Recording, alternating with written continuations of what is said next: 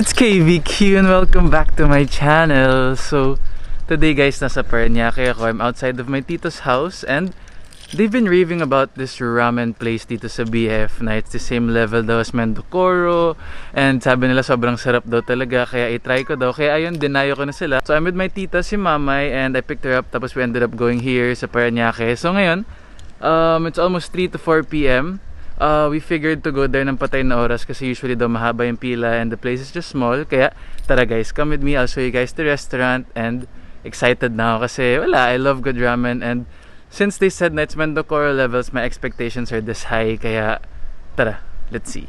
Let's go! Hi! We are on the way na to Mensakab. Hi to Tracy. Hello! Hi Mama, I am covering you.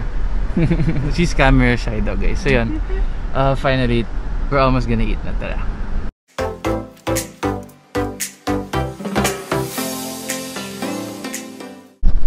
Yay! So we are finally here na medyo funny kasi 4.30 kami dumating kanina but apparently they open at 5. So we ended up just driving around BF, duman kami sa Japan Home Center and hindi ko na siya napa- naipakita sa inyo guys kasi nga we were just actually making kwentuhan and chilling in the car while sila Tita Tracy and Mamay we're looking around sa Japan Home Center and ito na yung restaurant na sinasabi ko sa inyo guys. It's called I don't know it. Mensakaba Geishu or Mensakaba. Yun lang yung tawag nila.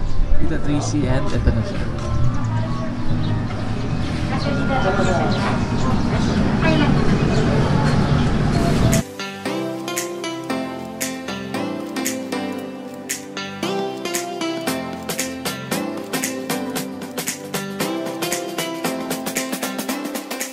So, yun yung labas guys. And I just wanted to show you guys the inside.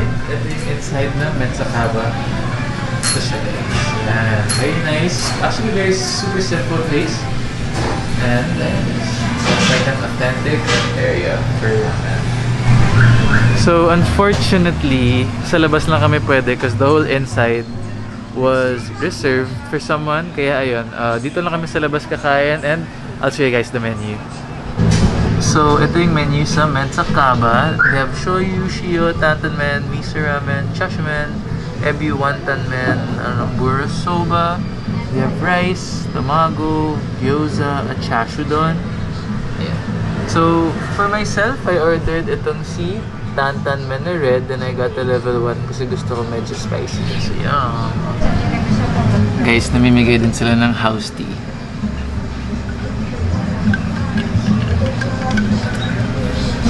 Hi Tito Tay. Are you excited to eat? Yes. Okay guys, so andito na yung mga order namin. I am going to show you what we all got. So, Tito Tay got the shoyu and I am showing you. And then Tita Tracy got the gyoza and shoyu as well. And Mamay got the shrimp wonton ramen and gyoza and the cold tea. Whew, okay, so andito na yung mga order namin. It's finally time to eat. I'm really excited. And now, kakain na naman tayo with Mamay. Gyoza.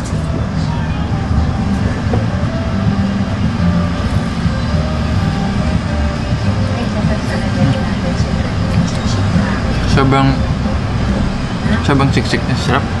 Weird. Authentic. Kasi mura dito. Mm.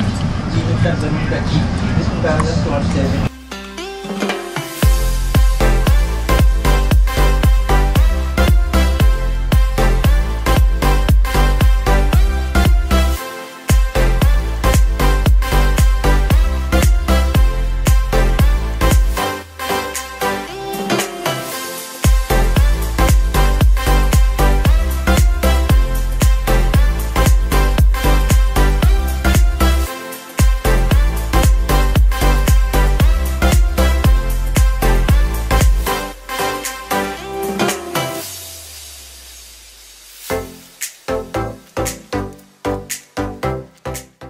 Sarap.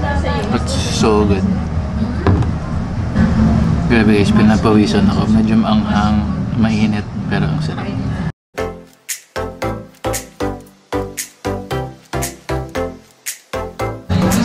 The last gyoza. mm. Mm.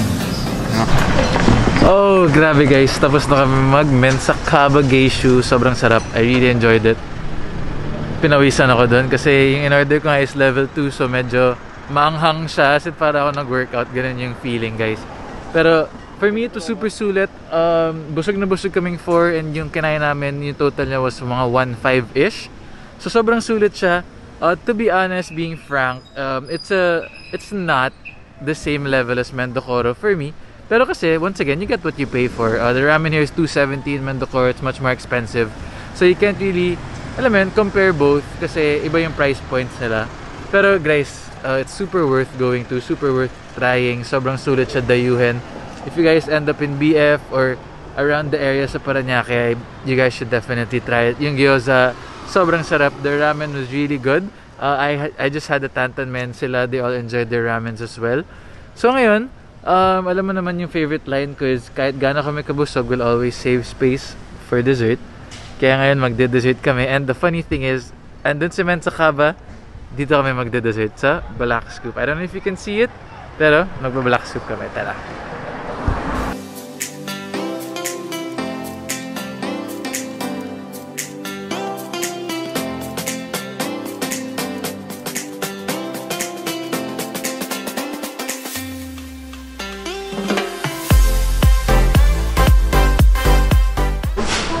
Ito yung menu nila sa Black Scoop. Perfect guys. Dami yung dessert choices. Mga crunch, mga bubble waffles from Fraps, fruit teas, milk teas, and then they also have some wings and sandwiches.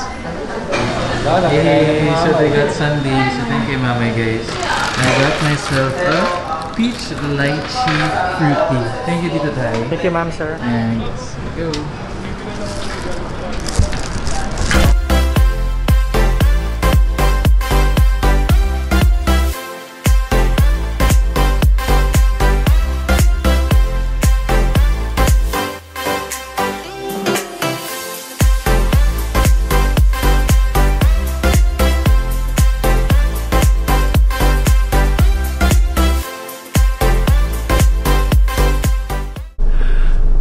Alright guys, so update, I'm finally home na. I just dropped my tita off sa house niya and ayun, we just ended up making kwentuhan for about an hour dun sa house ni Tita Tay and I really enjoyed the day guys. Ang sarap dun sa Mensakaba. Sobrang sulit siyang dayuhin and it's really worth trying. Looking back, I can't believe na naubos ko yung anim na gyoza at saka yung ramen ko. Ganun siya kasarap. Sobrang sarap. Sobrang na-enjoy ko yung gyoza. And super sulit as well. 1.5 for 4 people, that's pretty good. Uh, considering the amount that we ordered. And I really, really would love to come back with some friends para matry din nila. And yun, after nung Mensa Kaba, nag-black scoop lang kami. I just got myself a fruit tea.